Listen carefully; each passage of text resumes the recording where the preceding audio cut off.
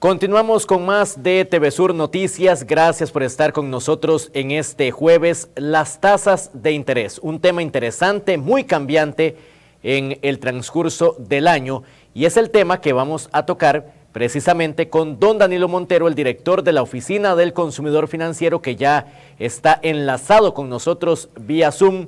Don Danilo, muy buenas tardes, gracias por acompañarnos como siempre.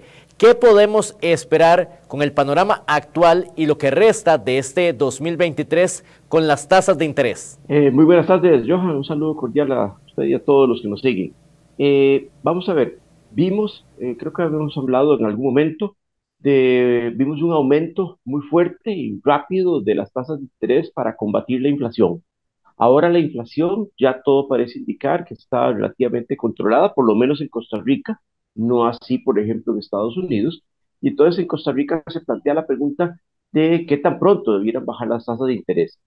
Eh, la expectativa definitivamente es que las tasas tienen que bajar. Lo que no está claro es si el Banco Central va a querer bajarlas tan rápido como las subió o si lo va a hacer pero muy lentamente. Las va a ir bajando, pero lentamente. De manera que entonces uno, por supuesto, a falta de la bolita de cristal, tiene claro de que las tasas solo tienen un destino ahorita, para abajo.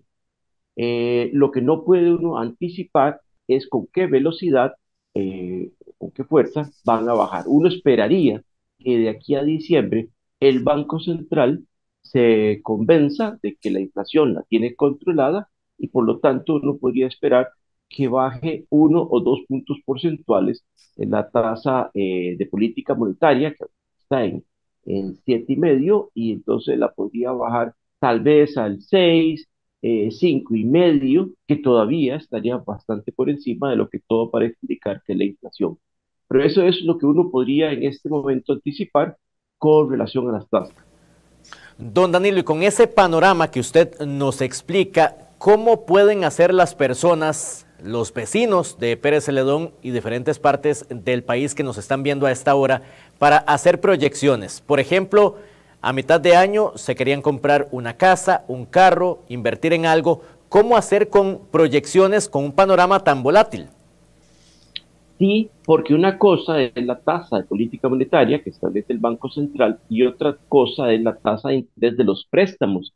La tasa de los préstamos eh, toma como referencia, que se fija en la tasa del Banco Central, pero también toma en cuenta, eh, toma en cuenta otros factores.